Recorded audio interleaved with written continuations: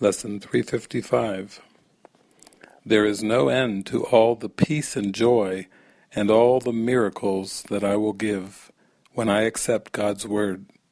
Why not today? Why should I wait, my Father, for the joy you promised me? For you will keep your word you gave your Son in exile. I am sure my treasure waits for me, and I need but reach out my hand to find it. Even now my fingers touch it. It is very close. I need not wait an instant more to be at peace forever. It is you I choose, and my identity along with you. Your Son would be himself, and know you as his Father and Creator and his love. Amen.